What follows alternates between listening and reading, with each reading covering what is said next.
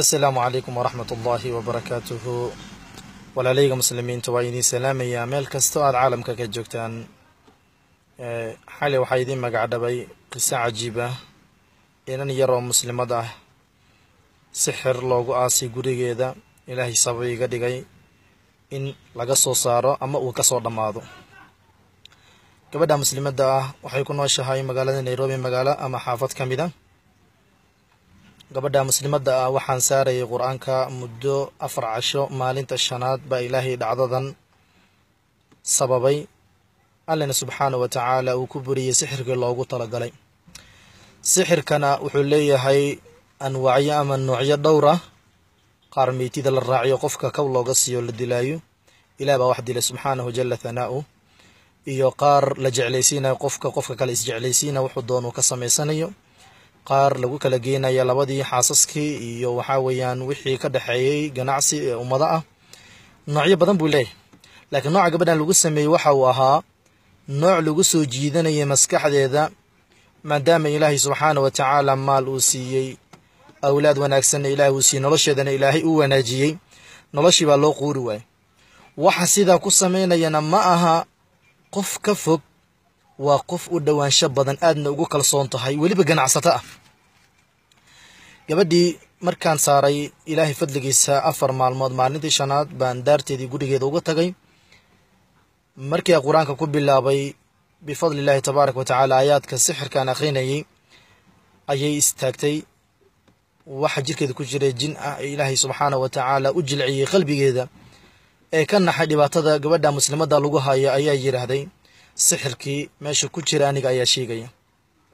Inantii baa soo kaxeeyay iyadoo korkeedii maskaxdeeda ay bedelan tahay. Gurigeeda albaabka laga soo galo ganjeelka weyn hortiisa qayb yaroo meel ku yaalo ubaxyo iyo geedo yar yara baa waxaa la yidhahda halka kan baa lagu aasay. Inantii baa guriga ku celiyey waxaan soo qaatay badeel ama waxyaaba wax lagu qado meeshii baan qoday. Markaan qoday waxaan ugu tagay xirsigaas yar ead aragtaan oo bac ku duduuban.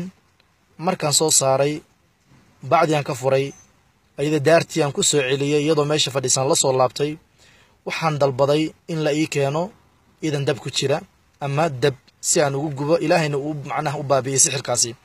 Waxaadna ogaataan sixir laguu sameeyey haddii ilaahay uu kuu sababay inaad aragto ama ilaahay ku tusiyaayo. Haddaad gubto sixirkaaga meesha uu ku burburaya caafimaad baa ilaahay kuu soo dejinaya. Intaanan gubin ka hor baa warqadii furay qaabkaasay u furan tahay waad aragtaan baana ku qornaa. Waxaan lagu qoray laba aayaad oo ilaahay qur'aankiisa ka mid ah iyo magac loogu yeeraya jinka. Waxaa aayadda koowaad ku qoran fa in tawallow faqul xasbiya allahu laa ilaaha ilaa huwa calayhi tawakaltu wahuwa rabu alcarshi alcadiim aayaddaas ayaa saddex mar lagu qoray. Waxaa lagu xijiyey wallahu min waraa'ihim muxiit bal huwa qur'aanun majiid. Fii lowxin maxfuud saddex goor baa la qoray.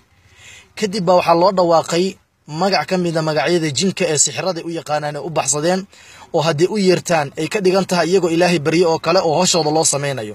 Waxaa ku qoran biduux biduux biduux biduux. Shan ilaa lix goor baa lagu celceliyey. Bimacnaa jinkii hebelow jinkii hebelow jinkii hebelow bimacnaa wax noo qaba weeyaan markaasaa lagu xijiyey gabadha magaceedii iyo walaasheed oo dibadda jira magaceedii baa la isku lamaaniyey. Waxaa la yidhahday waxaad u qabataa inanta la yidhaahda xaawo. Xaawo ayaa wax qabanaysa. Xaawona waa inan ganacsato ah.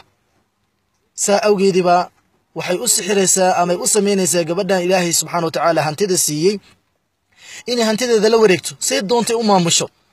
Iyada iyo gabar kaloo walaasheed la dhalata ayaa facilka iyo falka isla wataa ilaahay fadligiisa markii halkaa saddex mar shan mar camal ugu dhadhawaaqay oo biduux biduux biduux uu yidhaahday ayuu gadaal haddana wuxuu ku soo qatimay magaca gabadha ee ilaahay sixirka ka furay iyo walaasheed oo labadooda sixir ahaan laiskula wada haystay oo hadalkii loo dhawaaqo la yidhaahdayo waxaas waxaasa un aysan diidinba loogu talagalay.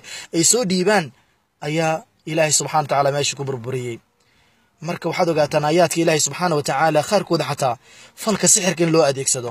Marka markuu leeyahay biduux biduux biduux biduux ma aha magac oo jin uu leeyahay ilaahay subxana wa tacala qur'aankuu ku sheegay ama axaadiis nebiga ku soo arooray laakiin waa wax iyaga shayaadiinnimadooda iskula baxsadeen. Marka waa arrimaha ugu cajiibka badan. Hataa marka qaarkood waxaad arkaysaa magaalada gudaheedii yani waxaa lagu kala geynayaa nin iyo naagtiisao dibadda ku maqan ayaa lagu kala geynayaa. Labada joogta ee noloshooda isaga raali ah ilaahay ku kalsoon baa lagu kala geynayaa. Intaasoo idin waxaa loo samaynaya waa adduunyo doon darteeda. Waxaana marka baraarujinayaa walaalaha muslimiinta meel kasta ay joogaan inay isku xifdiyaan weysada awalan qofka mu'minka waa silaaxulmu'min u hayso waa weysada inaad weysada isku alaalisaan adkaaru sabax walmasa aad akhrisataan qof walbo rag iyo dumarna u laasimo xalaqaadka cilmiga uuna la saaxiibo dad uu u malaynayo in ay ilaahay subxana wa tacala u dhawaasho badan yihiin. Mar kastay lugta u siibataayo ama uu ka mashquula digriga ilaahayna xusuusinaya ilaahayna ku xirayo.